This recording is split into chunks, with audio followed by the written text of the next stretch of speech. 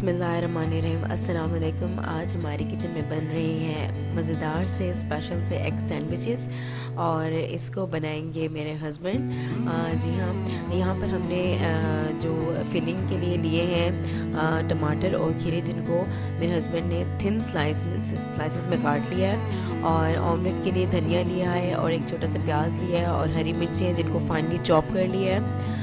और अब चूल्हा ऑन करते हैं। अच्छा यहाँ पर अगर आपको कोई मेस भी नज़र आ रहा है तो उसके लिए आई एम सॉरी क्योंकि ज़ाहिर है हस्बैंड्स इतने ज़्यादा कॉन्शियस नहीं होते जितने कि हम लेडीज़ होती हैं। तो मैं बीमार थी और मेरे अंदर बिल्कुल हिम्मत नहीं थी कुछ काम करने की तो ये मेरे हस्बैंड मेरे लिए स्पेशल से सैंडविचेस बना कर लाए, माशाल्लाह से।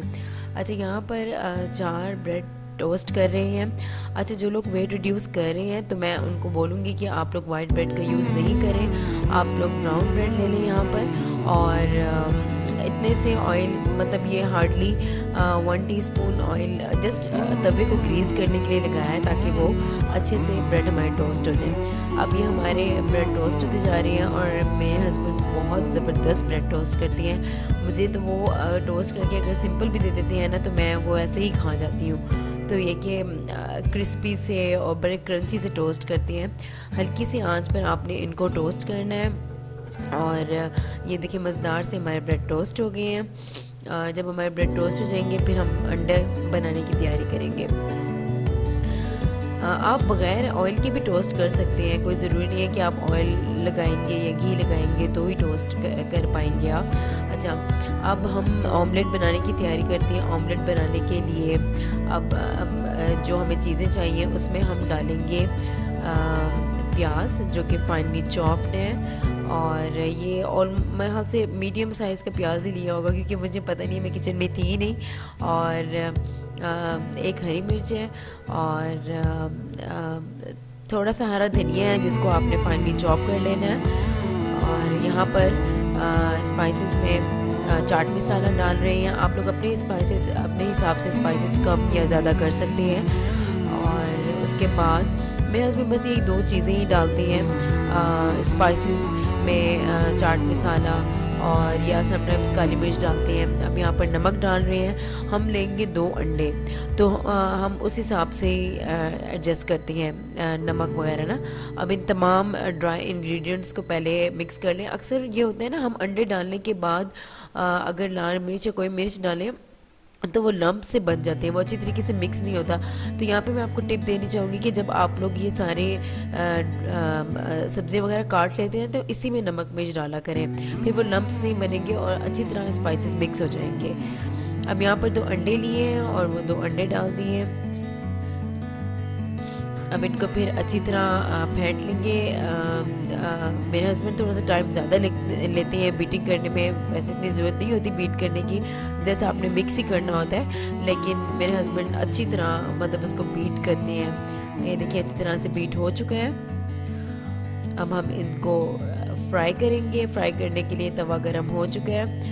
और इसमें आप अपने हिसाब से ऑयल ले लें और जो लोग वेट रिड्यूस कर रहे हैं या जो लोग बहुत कॉन्शियस हैं वो नॉन स्टिक पैन बेहतर है कि यूज़ करें क्योंकि उसमें तो जस्ट आपने हल्का सा ऑयल को ग्रीस करना होता है और आपका ऑमलेट तैयार हो जाता है। और ये आ, मेरे मियाँ ने अच्छा खासा ऑयल ले लिया है। बहरहाल अब आप आ, इसको ऑमलेट को इतना थोड़ा सा फैला दें, क्योंकि वो डालते वक्त तो एक ही जगह पे ही रुके रहते ना।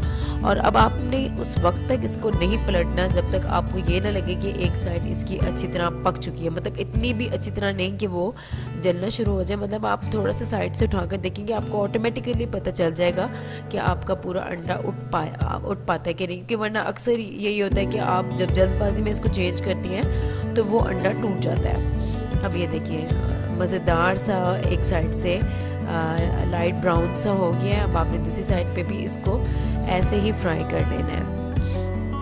हल्का हल्का से टैप इसलिए कर रहे हैं कि भाई कुछ कच्चा ना रहे वैसे अंडा कभी भी कच्चा नहीं रहता। आराम से टेम्परेचर पे वो बन ही जाता है। तो अब इसको हम डिश आउट कर लिया है।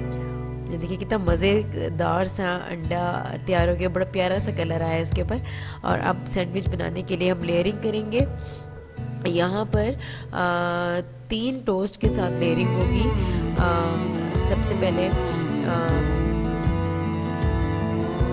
तीन टोस्ट के साथ इसको लेयरिंग करेंगे। सबसे पहले एक एक लेयर बिछाएँगे। ये ज़रा उनका एक अपना तरीक़ाकार है और एक अपनी टेक्निक है कि वो ऑमलेट के ऊपर स्नाइस रख के उसको कट करके ना आ, वो कर रहे हैं। तो आप अपनी आसानी के हिसाब से जिस तरह भी कर सकते हैं, करें। अगर आपको लगता है कि आप अंडा काट के टोस्ट रख अंडा काट के टोस्ट के ऊपर रख सकते हैं, आप वैसे रखें। उसके बाद अब इस, इनके ऊपर एक लेयर आप लगा दें।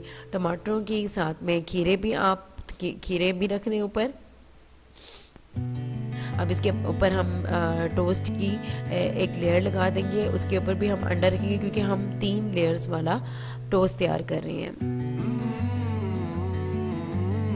ऐसे आप लोगों ने कर लेना है। मतलब आप ये देखें कि दो अंडों के साथ आपका ये तीन लेयर वाला जो एग सैंडविच है, बड़ा आराम से बन सकता है। आप चाहें तो फोर लेयर्स के साथ भी कर सकते हैं, क्योंकि फिलिंग का अंडे की फिलिंग कितनी हो, कितनी कम हो या कितनी ज़्यादा हो, ये आप पे डिपेंड कर रही होती है।